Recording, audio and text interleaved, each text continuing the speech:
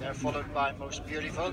Beginning to make the run now past the two, and Blood Moon is in the lead from Shrill. They're being followed by Washington, D.C., beginning a run between horses, and they're being followed by Only Mine. And Washington, D.C. now goes to the front, being followed on the outside by Shrill. After the leader in the centre is Only Mine. Down the outside is Diamond Fields, but it is Washington, D.C. and Seamie Heffernan about three in front.